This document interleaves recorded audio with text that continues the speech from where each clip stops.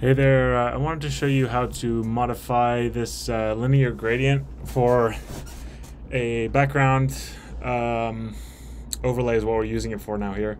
And uh, you can see that this is actually a, a, simple property. It's just a background is equal to linear gradient.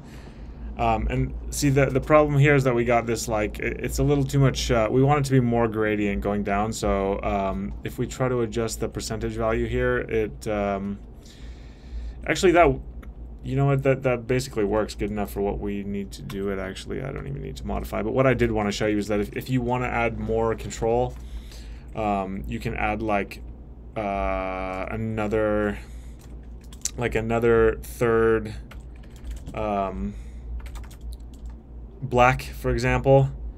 Um, or I mean like a, a different transparent color here. So if I click that one and I um, I'm gonna go RGBA here to make it more easy to see.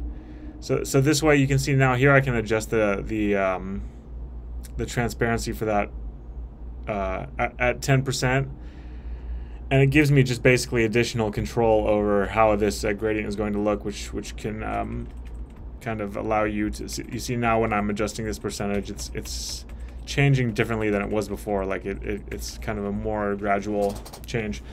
So um, in case you need more control, you can add that additional colors along the way, even if it's the same color, just um, black at a transparency uh, at a transparency using RGBA. So, uh, but actually for my purpose, I think I'm just going to stick with what I was using before and change that percentage down there a little bit to 24 is probably what I need. So there you go. That's how you can uh, make some modifications to your CSS uh, linear gradient.